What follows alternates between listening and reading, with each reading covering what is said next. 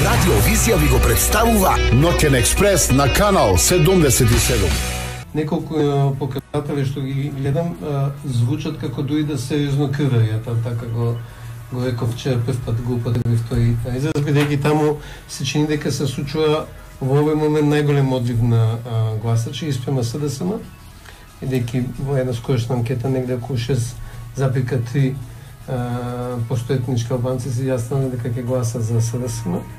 И кон БЕСА, иако БЕСА се уште во анкетите не делува така импресивно, импресивно како што делуваше на нивниот митинг во Борис Трајковски.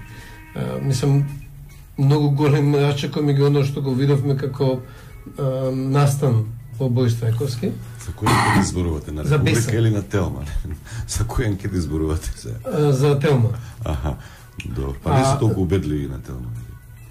Не, не, а, зборам за а, Оваа последната што видовме дека А, да Зборам разберам за Беса дека во анкетата немаше таква такво покажување како што на пример беше убедливо нивното нивниот настан во Да. Борис Трајковски. Китингот. Меѓутоа доволно за да а, видам дека во моментот дуи им е сериозен език за сериозно кавање, што не е така сериозно кај ДПА, бидејќи ми се чини дека а, ДПА веќе искривари предходно и дека превозаниците на мендухтачи се тие кои што се и тие повтино ќе Тоа ви се верува дека дуја толку падната на 6%. Малку повеќе на 6.